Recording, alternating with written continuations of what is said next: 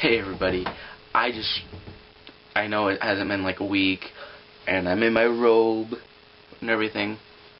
I just wanted to say, an apple a day keeps the doctor away. Remember that.